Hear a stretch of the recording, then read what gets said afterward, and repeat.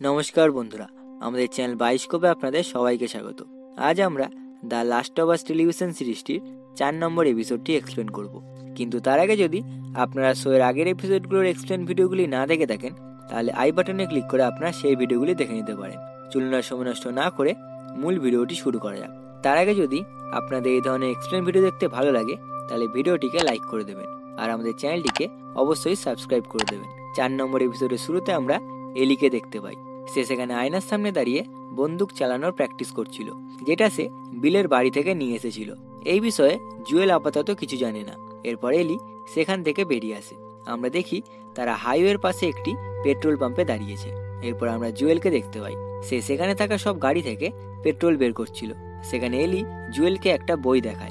আর জুয়েল সেই বইটা পড়েছে কিনা তা জানতে চায়। এরপর তারা গাড়ি নিয়ে সেখান থেকে বেরিয়ে এগিয়ে যেতে থাকে। কিছু দূর যাওয়ার পর এলি গাড়ির মধ্যে থেকে একটি মিউজিক সিডি খুঁজে পায় আর তারা সেটা শুনতে শুনতে এগিয়ে যেতে থাকে। এরপর সকাল গড়িয়ে বিকেল হয়ে আসে। তখন জুয়েল বলে, সন্ধে হয়ে এসেছে। তাই আজকের রাইড তাদের এখানেই শেষ করতে হবে। আর এখন তাদের রাত কাটানোর জন্য একটি সুরক্ষিত জায়গা খুঁজতে হবে। এই বলে জুয়েল তাদের গাড়িটিকে জঙ্গলের দিকে ঘুরিয়ে নেয়। সেখানে জুয়েল তাদের জন্য খাবার তৈরি করে। আর তারা আরাম করে তাদের খাবারটি খেয়ে নেয়। তখন এলি জুয়েলকে জিজ্ঞাসা করে যে, তারা এখানে কতক্ষণ স্টে করবে? তখন জুয়েল বলে, তারা আজকের রাত্রি এখানেই থাকবে আর কাল সকালে বেরিয়ে পড়বে। এরপর এলি জুয়েলকে জিজ্ঞাসা করে, সে কি এখানে আগুন জ্বালাতে পারবে? কারণ এলির খুব ঠান্ডা লাগছে। তখন জুয়েল বলে, এখানে আগুন জ্বালালে যে ধোয়া উঠবে, তাতে আশেপাশের ইনফেক্টেড মানুষরা সেখানে চলে আসতে পারে, যার ফলে তারা বিপদে পড়তে পারে। এরপর রাত হয়ে যায়। তখন তারা তাদের স্লিপিং ব্যাগগুলো বের করে ঘুমাতে চলে যায়। তখন এলি জুয়েলকে সেই বই থেকে একটা প্রশ্ন করে।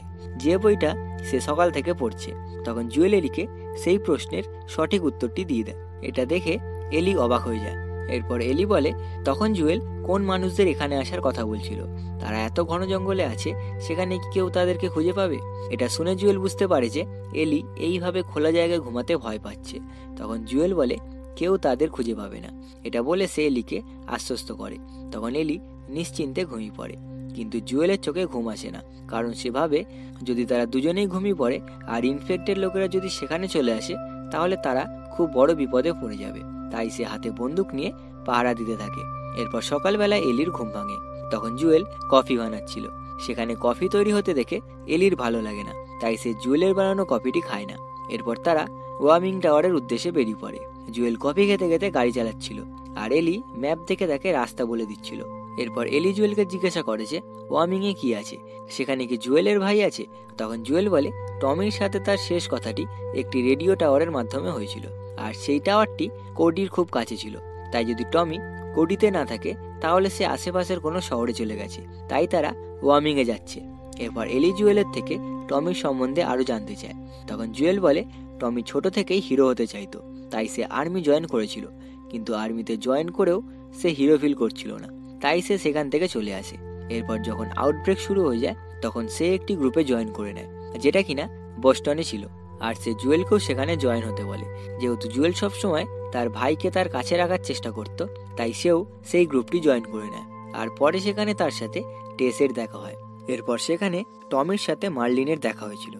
আর সে টমিকে ফায়ারফ্লাই গ্রুপ জয়েন করতে বলেছিল। যেহেতু টমি ছোট থেকেই হিরো হয়ে পৃথিবী বাঁচানোর ইচ্ছা রাখত, তাই সে ফায়ারফ্লাই গ্রুপ জয়েন করে নেয়। কিন্তু পরে টমি ফায়ারফ্লাই গ্রুপ ছেড়ে দিয়ে একা কাজ করতে থাকে। আর তার কিছু সময় পর থেকে জুয়েল টমির আর কোনো খোঁজ পায় না। তাই সে অনেক সময় ধরে টমিকে খোঁজার চেষ্টা করছে। এরপর এলি ক্লান্ত হয়ে গাড়ির মধ্যে ঘুমিয়ে পড়ে। এইভাবে কিছু দূর যাওয়ার পর জুয়েল দেখে সামনে রাস্তা বন্ধ আছে। তখন সে এলিকে গাড়িতে বসতে বলে নিজে চেক করার জন্য বেরিয়ে আসে। সে দেখে একটা ট্রাকের জন্য পুরো রাস্তাটা ব্লক হয়ে গেছে। তাই তাদের অন্য দিক দিয়ে যেতে হবে। তখন জুয়েল ম্যাপ দেখে আর সে হাইওয়ের পাশে ক্যান্সার সিটি নামে একটি শহর দেখতে পায়। তখন সে ওয়ামিং যাওয়ার জন্য ক্যান্সার সিটির ধ্বংসাবশেষের মধ্যে দিয়ে শর্টকাট নেওয়ার ডিসিশন নেয়। এরপর তারা গাড়ি ঘুরিয়ে নেয়, কিন্তু ক্যান্সাসে পৌঁছে তারা রাস্তা হারিয়ে ফেলে। এলির কাছে ম্যাপ থাকে, কিন্তু সে সেটা বুঝতে পারে না। এরপর তারা যেতে যেতে কিউজির কাছে চলে আসে, কিন্তু সেখানে ফেডরার কোনো সোলজার থাকে না। সেটা দেখে জুয়েল বুঝে যায় যে এখানেও ইনফেকশন ছড়িয়ে গেছে। তখনই তারা সেখানে একজন আহত ব্যক্তিকে দেখতে পায়, যে কিনা জুয়েলদের থেকে সাহায্য চাওয়ার জন্য এগিয়ে আসছিল। কিন্তু জুয়েল কিছু গন্ডগোল বুঝতে পারে, তাই সে তাড়াতাড়ি গাড়ি নিয়ে সেখান থেকে বেরানোর চেষ্টা করে। সেই সময় তাদের গাড়ির ওপর কিছু লোক হামলা করে দেয়, যার ফলে গাড়িটির চাকা পাংচার হয়ে যায় আর তাদের গাড়িটির অ্যাক্সিডেন্ট হয়ে যায়। অন্যদিক থেকে তখন তাদের ওপর তিনজন লোক গুলি করতে থাকে। তখন জুয়েল আর এলি তাড়াতাড়ি গাড়ি থেকে বেরিয়ে আসে। এরপর জুয়েল সেখানে একটি ভাঙা দেওয়াল দেখতে পায়। তখন সে এলিকে সেটার মধ্যে চলে যেতে বলে। আর সেটাও বলে যে, জুয়েল না বলা পর্যন্ত এলি যাতে সেখান থেকে বেরিয়ে না আসে। এরপর জুয়েল সেই লোকগুলোর সাথে ফাইট করতে থাকে। জুয়েল সেখানে দুজনকে হত্যা করে। কিন্তু ফাইট করতে করতে জুয়েলের এমও শেষ হয়ে যায়। তখন তৃতীয় লোকটি তার উপরে হামলা করে দেয় এবং প্রায় শ্বাসরোধ করে জুয়েলকে হত্যা করার চেষ্টা করে। এটা দেখে তখন এলি সেখান থেকে বেরিয়ে আসে আর তার বন্দুকটি দিয়ে সেই লোকটিকে গুলি করে দেয়। কিন্তু এলির গুলিতে লোকটি আহত হলেও সে মারা যায় না। এইদিকে তখন জুয়েল এলির হাতে বন্দুক দেখে অবাক হয়ে যায়। এরপর সে এলির হাত থেকে বন্দুকটি নিয়ে নেয় ও তাকে সেখান থেকে চলে যেতে বলে। এরপর জুয়েল সেই লোকটিকে মেরে দেয়। এরপর তারা সেখান থেকে বেরোনোর চেষ্টা করে। সেই সময় জুয়েল দেখে যে সেই লোকটিকে খোঁজার জন্য সেখানে আরও অনেক লোক চলে এসেছে। তখন তারা একটি বিল্ডিংয়ের মধ্যে ঢুকে পড়ে। এরপর সিন অন্য জায়গায় শিফট হয়ে যায়। আর সেখানে আমরা কিছু মানুষদের দেখতে পাই, যারা কিনা ফেডরার বিল্ডিংয়ে কবজা করে নিয়েছিল। এরপর আমরা সেখানে ক্যাথেলিন নামে একজন মহিলাকে দেখতে পাই, যে কিনা একজন লোককে জিজ্ঞাসাবাদ করছিল। আমরা জানতে পারি, যখন ফেডরার সোলজাররা এখানে লোকদের এনে মারছিল তখন এই লোকটি তাদের সাহায্য করেছিল। মারা যাওয়া মানুষগুলোর মধ্যে ক্যাথেলিনের ভাইও ছিল, তাই সে তার ভাইয়ের বদলা নিতে চায়। তাই সে সেই লোকগুলোকে খুঁজছে। এরপর ক্যাথেলিন সেই লোকটির থেকে হেনরি কোথায় আছে তা জানতে চায়, কারণ সে মনে করে হেনরি এই শহরেই কোথাও আছে, আর এই লোকটি সেটা জানে। তখনই সে বাইরে শব্দ পেয়ে বেরিয়ে আসে। আর সে তাদের গ্রুপের কয়েকজন মেম্বারদের মৃতদেহ দেখতে পায়, যাদেরকে কিনা জুয়েল মেরেছিল। তখন একজন সোলজার ক্যাথলিনকে বলে, কেউ হয়তো তাদের এরিয়ায় ঢুকে পড়েছে। তখন ক্যাথলিন মনে করে যে, হেনরি এই শহরেই আছে, আর তার কাছে হয়তো রেডিও আছে। সেটার মাধ্যমেই সে বাইরে থেকে কিছু লোকদের এখানে নিয়ে এসেছে। এটা বলার পর ক্যাথলিন রেগে সেখান থেকে চলে যায়। আর সে একটু আগে যেই লোকটিকে জিজ্ঞাসাবাদ করছিল, তাকে গুলি করে মেরে দেয়। ও ফিরে এসে সবাইকে বলে যে, এই খুনগুলো হেনরির জন্য হয়েছে। তাই সে সবাইকে অর্ডার দেয় যে যে এই কাজটি করেছে, তাকে খুঁজে মেরে দিতে। এরপর দলের সবাই হাতিয়ার নিয়ে জুয়েলকে খোঁজার জন্য বেরিয়ে পড়ে। তারা প্রত্যেকটি বিল্ডিং চেক করা শুরু করে। এইদিকে আমরা জুয়েলকে দেখতে পাই। তারা একটি বিল্ডিংয়ে লুকিয়ে আছে। এরপর তারা নিজেদের মধ্যে কথা বলতে থাকে। সেখানে জুয়েল বলে, যদি সে সেই লোকটিকে আগেই মেরে দিত, তাহলে এলিকে গুলি চালাতে হতো না। সে এলিকে বলে যে, সে তার মনের অবস্থাটা বুঝতে পারছে। কারণ প্রথমবার কাউকে মারাটা খুব কঠিন হয়।